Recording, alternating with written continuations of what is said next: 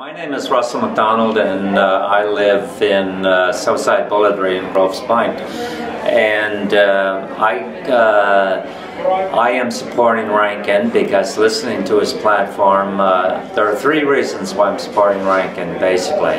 One is that he's been working in the community for past 30 years and he's uh, to me a very strong community minded person. Secondly he has a business and he has a good grasp on business and how to uh, develop uh, CBRM and finally and maybe more importantly of all uh, I'm supporting uh, Rankin because our most valuable resource besides uh, its people is the development of the port facilities in Sydney. And Rankin has stated very well that he wants the rewards and the development to be in the hands of the community and not in the hands of uh, uh, a small group of people and that to me is uh, probably the most important thing and uh, that I see for the future of uh, my children, my grandchildren and the future development of CBRM.